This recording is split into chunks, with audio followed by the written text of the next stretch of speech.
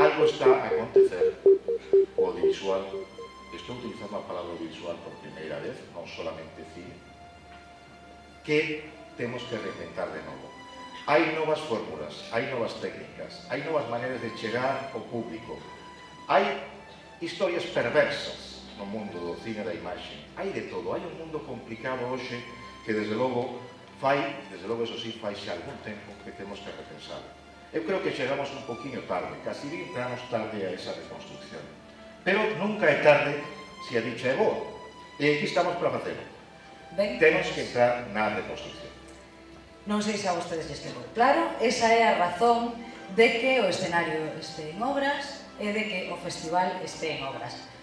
Para esta gala de inauguración, a organización pensou en traer a Orquesta Sinfónica de Chicago, pensou en traer a Sinfónica de Galicia, e pensou ata en poñer 200 gaiteiros no escenario tocando a banda sonora do Padrino.